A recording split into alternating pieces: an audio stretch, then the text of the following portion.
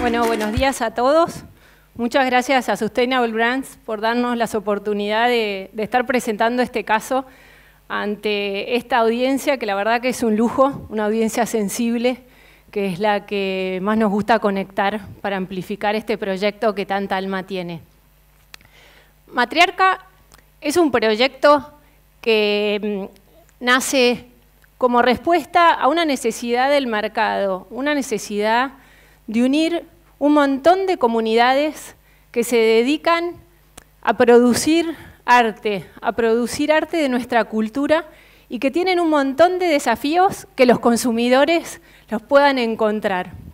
Matriarca nace fundado por Paula, Paula Marra, que lo habrán escuchado Matías, que cada vez que se encuentra con ella más va conociendo y más va encantando este proyecto. Paula es quien empezó a dilucidar esta necesidad que tenían todos estos colectivos rurales que tenemos en Argentina por mostrar ese gran valor cultural que tienen. Los invito a recorrer y a pensar en nuestro país. Nuestro país es enorme, nuestro país es riquísimo. Tiene la verdad que diferentes biomas, diferentes etnias, además de toda la inmigración. Tiene unas materias primas increíbles que todos predicamos por ser el supermercado del mundo. Tenemos grandes distancias que desafían también muchas veces toda esa economía que circula, pero lo que más rescatamos de todo esto es que tenemos una riquísima cultura. Y Matriarca lo que hizo es empezar a recorrer esa cultura, sobre todo en el norte del país. Recorremos, los invito a recorrer, quienes no conozcan o, quienes recuerden La Puna, también los valles del Huracatao, en Salta, también las Yungas, las Yungas está bien arriba con Bolivia, un lugar bien lejano que hasta hay que salir por Bolivia para entrar ahí a los toldos, a una comunidad muy chiquita pero lindísima. Y también el Gran Chaco sudamericano, el impenetrable, que tanto se está hablando ahora con la declaración de parques nacionales y tanto hay por dar a conocer esta zona increíble de Argentina.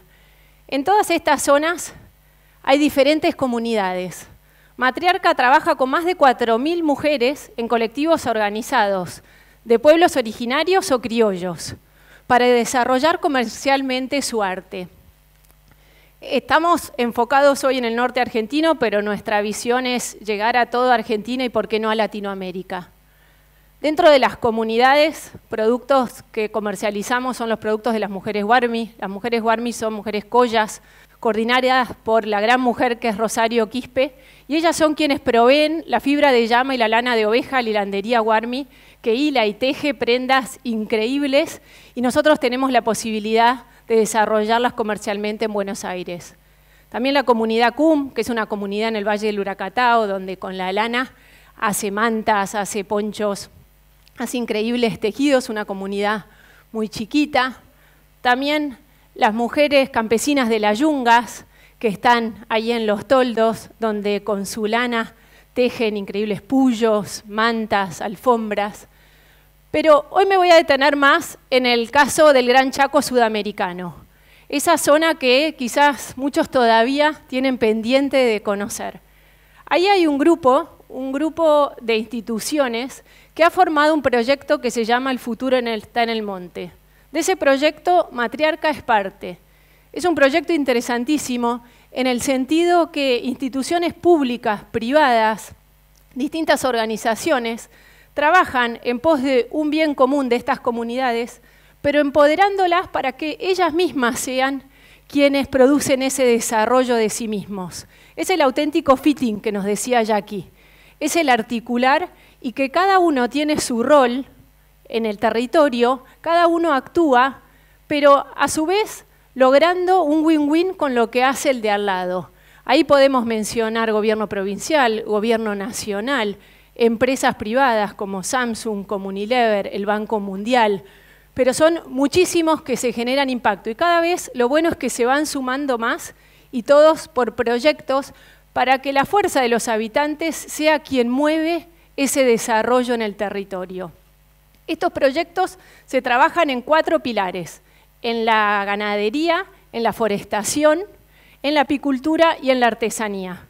Matriarca entra en el juego de la artesanía, donde trabajamos fundamentalmente con esta cooperativa, que es la cooperativa Comar, la primera cooperativa de mujeres artesanas del Gran Chaco, liderada por Norma Rodríguez, que es quien está en la foto, que ya ellos funcionan hace más de 15 años. Mujeres que se han organizado, que trabajan de manera que tienen su presidenta, su tesorera, sus coordinadoras, para llegar a las artesanas y poder ir desarrollando el arte de las diferentes comunidades.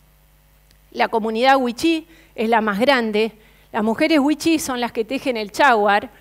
Hay más o menos mil artesanas que están trabajando hoy con nosotros.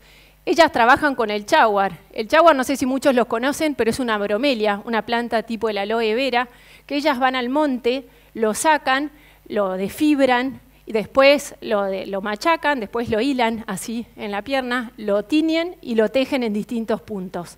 Este ponchito es de chaguar y cuando uno piensa que viene de una planta, es increíble que se lleguen a hacer este tipo de prendas. Ellas tradicionalmente en su cultura ancestral hasta usaban los hilos para atar el, o siguen usando algunos para atar el cordón umbilical del bebé, los hombres lo usaban para pescar. Y así fue como en la evolución se fueron desarrollando distintos productos de arte como carteras, hoy los llevamos a prendas de alta costura. Las mujeres pilagá son quienes trabajan el carandillo. El carandillo es una planta que también crece en impenetrable, que se tejen un montón de, mm, de canastos, bandejas. Si ven ahí, tienen un tejido firme increíble de ver y lo importante también es que en esto que les decía que se trabaja articulado, por ejemplo, el INTA replantó chaguar para que las mujeres no tengan que recorrer 15 kilómetros hasta ir a esas plantaciones. El INTI trabaja con los tintes naturales para descubrir más colores con ellas. El gobierno nacional tiene proyectos también de empoderamiento. Vamos a ver proyectos también de empresas. Las mujeres con LEC tejen la lana, la lana en tapices, la lana en animalitos, que también tienen en sus ovejas en el monte. Entonces esos proyectos lo que más se trabaja y en lo que nosotros estamos abocados es en el empoderamiento de la mujer. Estas mujeres que antes estaban en sus comunidades mucho más sumisas, mucho más al cuidado de la casa y nada más. Mujeres que han salido, han logrado fuerza disfrutan, comparten, innovan, se divierten.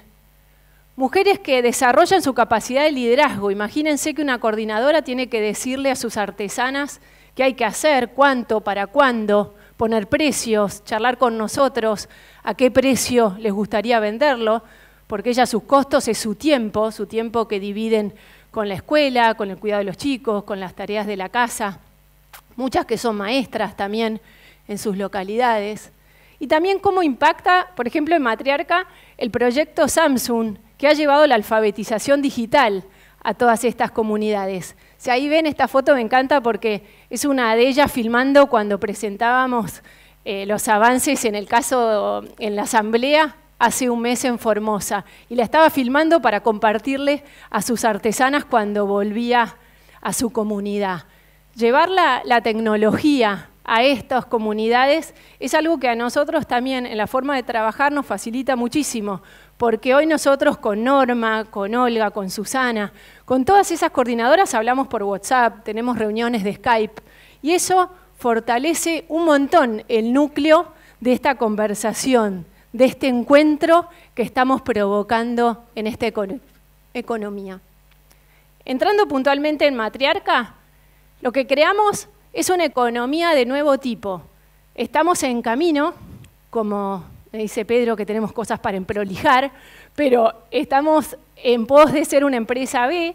Eh, Martina nos ayudó muchísimo y tenemos tarea para hacer porque sí creemos en ese triple impacto. Somos una empresa, no somos una ONG, porque creemos que el trabajo de todas estas mujeres es un trabajo rentado y toda la cadena de valor es una cadena comercial pero hay que trabajar muchísimo para que esto se desarrolle en este puente, que todas estas mujeres lleguen a mucho más consumidores. Matriarca arranca en el 2013, lo funda Paula Marra. Paula es ingeniera agrónoma y es quien empezó a recorrer todos estos territorios. para contarles cómo trabajamos. Ahí está Norma, Paula y Fabiana. Fabiana es la presidenta de la Fundación Gran Chaco, que es quien articula en el territorio todos estos proyectos que las distintas instituciones van soportando. Porque no es simple llegar, son lugares súper inhóspitos.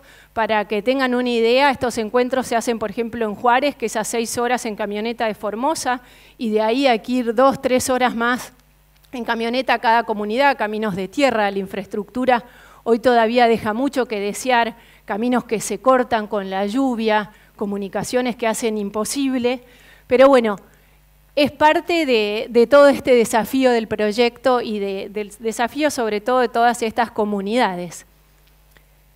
Algo que nos encanta es compartir con ellas el avance de todo este proyecto. Es ese encuentro en que ellas vayan viendo a dónde llegan su arte, quién lo consume, cómo se expone. Les mostramos, les llevamos fotos, les compartimos videos, les hacemos también todos los cuentos de los consumidores. Ellas igual hoy tienen Facebook, tienen Instagram, o sea que la comunicación, si bien es lejana en distancia física, pero es muy cercana en, cuanto al diálogo. La capacitación que se hace con, estas, con todas estas comunidades a fin de año fue Marina, una integrante de Matriarca y fiel comercializadora de nuestros productos, es el gran motor del proyecto.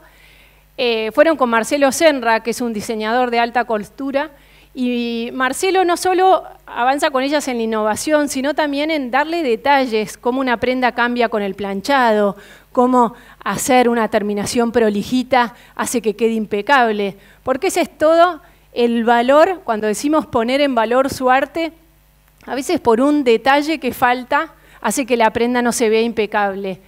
Y en estas miles de mujeres hay distinto nivel también de, sabiduría y de conocimiento de sus artesanías. Entonces, la idea acá es que tanto la artesana que ya es mayor y le cuesta más por problemas de vista o, porque le tiembla más la mano o algún problema que tenga, pueda seguir haciendo perfectos, increíble su arte, como que también todas las mujeres más chiquitas, los adolescentes, jóvenes, se puedan ir conquistando este encanto por la artesanía, porque no es fácil tampoco que la juventud siga este camino de que trasciende esa cultura. Entonces, el innovar, el, capacitarse, y no solo con Marcelo, también entre ellas, Gregoria y mm, Rita, ellas le están enseñando, ellas son unas genias haciendo unos animalitos y le están enseñando a otras artesanas a que le salgan tan bien que le salgan impecables, porque lo que buscamos es que quien recibe estas piecitas de arte realmente las valore, pero porque son lindísimas. Ellas se juntan en asamblea, nosotros vamos a esas asambleas, es algo que, es compartir, es eh, discutir también, discutir en el buen sentido, cada uno con su visión.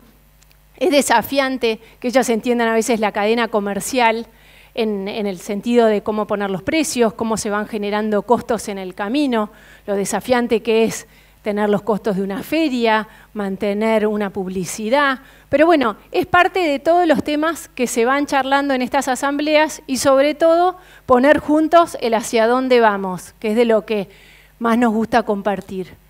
Estamos muy contentos porque acabamos de firmar un acuerdo con Comar, un acuerdo para crecer juntos. Nos planteábamos cómo hacer parte a toda esta cooperativa y decidimos que ellas sean partes de nuestras ganancias en el momento que seamos rentables, hoy todavía no lo somos, pero también en este convenio firmamos con ellas un compromiso de que convengamos entregas en tiempo, calidades, los pedidos, porque es parte desafiante también, a medida que vamos creciendo en escala, hay que lograr estos compromisos y quizás con las coordinadoras es más simple, pero todo ese cascadeo de las coordinadoras con sus artesanas es parte del desafío que a ellas les provoca.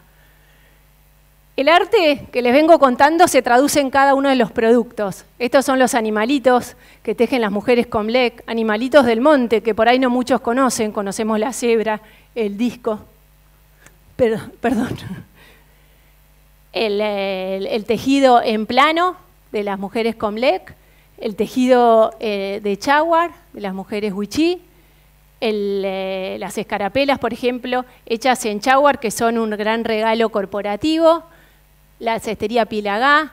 Nos importa muchísimo el tema de la trazabilidad de las mujeres, la trazabilidad de las artesanas, que ellas mismas vienen a las ferias a exponerlo o lo ven en, los puntos de venta, cómo se lucen en evento, Coca-Cola, que es un fiel embajador nuestro en sus eventos corporativos o en los desfiles, cómo llegar a grandes mujeres como le llegó el regalo a Michelle Obama. Y una gran noticia es cómo Matriarca llegó a New York hace un mes. Y esta es una foto que nos encanta contar en el encuentro de culturas, donde realmente son los Manolo de Sex and the City, pero con, eh, con, un animalito del monte. Así que bueno, nos quedan muchos desafíos, nos queda escalar el proyecto, nos queda contar esta historia en voz más alta, nos queda ser rentables y sobre todo lo que más nos gustaría es enamorar a mucho más gente, porque creemos que tenemos una oportunidad enorme para todas estas mujeres hoy, pero más que nada para estos chiquitos del mañana. Así que muchas gracias.